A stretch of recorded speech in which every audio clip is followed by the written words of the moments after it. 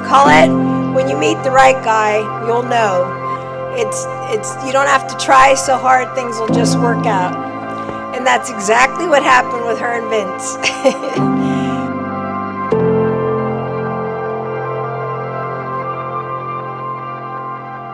She was downtown. She got a new job in ICU downtown um, St. E's. And was, she was in about two weeks when um, she was given report to the night nurse who happened to be Vince. and I guess the nurses that are here put them together because they saw sparks in them.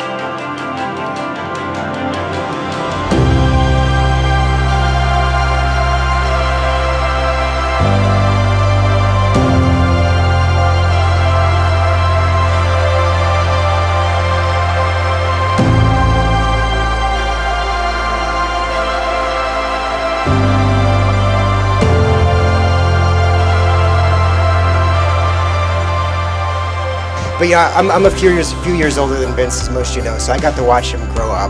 And there was a couple of formative events. Um, the first one that comes to mind is I had to watch him, and uh, I was about 14 at the time, and he might have fell on his head. And so it explains a lot about Vince, I think.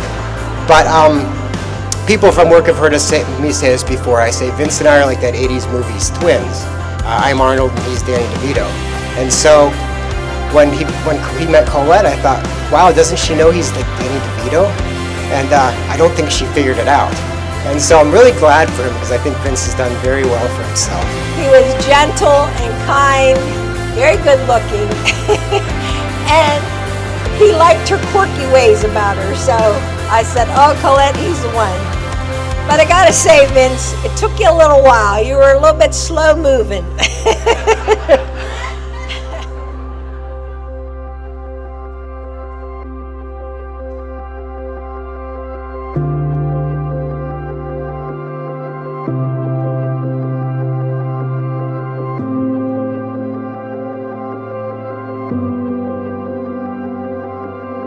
First of all, I um, I never thought this day would come actually, so I'm so happy. Um, first, I also wanted to give glory and thanks to God for making this day possible and bringing us all together. You know, uh, we waited a few years and a lot can happen in that time, so I'm glad that things kind of like the stars aligned for this to be able to happen for us. Um, special thanks to Father Tone